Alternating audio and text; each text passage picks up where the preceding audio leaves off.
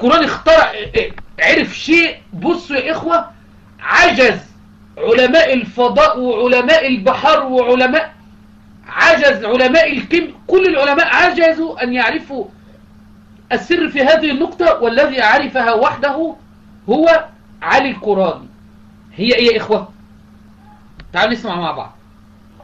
يحتمل أن مثلث برمودا بالأساس هو مركز آه، حربي للإمام المهدي سلام الله عليه أو فيه فيه صناعة حربية للإمام المهدي. أم! إيه سامعين يا إخوة بارك الله فيكم؟ مثلث برمودا مركز حربي للإمام المهدي حاطط فيه الأجهزة حاطط في السلاح في في في برمودا يعني هو حاطط الطائرات في المثلث والسلاح في برمودا. إيه رأيكم يا شيعة؟ مثلث برمودا طلع. أي حاجة بتعدي من فوق ولا بتعدي من حوالي بتختفي لأن تحت سلاح المهدي. ما رأيكم في ذلك يا شيعة؟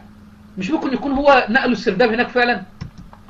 يحتمل أن مثلث برمودا بالأساس هو مركز آه، حربي للإمام المهدي سلام الله عليه أو فيه فيه صناعة حربية للإمام المهدي احتاج الإمام المهدي إلى مركز صناعة حربية بعضهم يقول أنه مثل هذه الرواية التي تقول أن العلم يكون عند ظهور الإمام المهدي عليه السلام جزئين فيضم إليه 25 ضعفا آه، ويضمها إليه يخلطها به.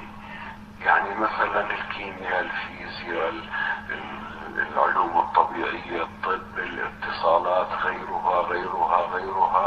هذه يضيف ما عنده إلى ما هو موجود بخمس وعشرين ضعفا إلى ما هو موجود.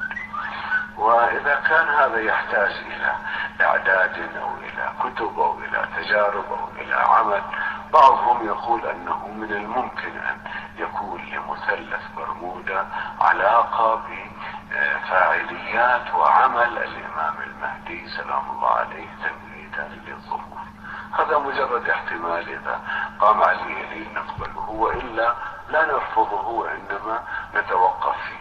ونحن نعلم أن طيب. الإمام المهدي صلوات الله عليه طيب ناخد رأي أبو نور يا إخوة؟